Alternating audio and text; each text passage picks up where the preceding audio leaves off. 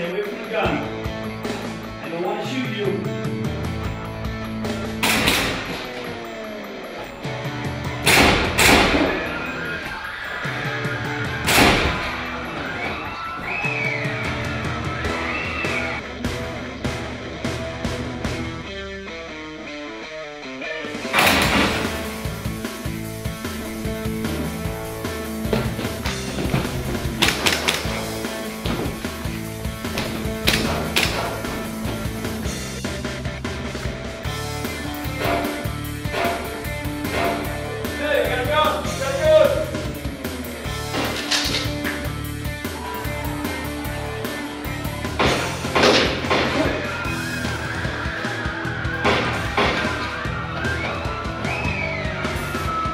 If instead you swing up like most people want to do, you don't acquire the sights until they're in your focal plane, and many times you're actually going to go past it and then try to bring it down.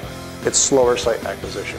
So, up, out, and back in the holster. Up, out. So you're driving the firearm forward, you're acquiring the sight picture as it goes out. This second hand, either you can start here or here, but it meets here and drives forward. Excellent. Reholster. But they're not really aware of their surroundings.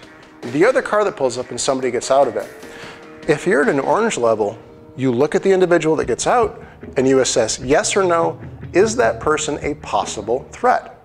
If they are, then you may actually ramp up to definitive threat. You know, the guy got out of the car and he has a gun in his hand.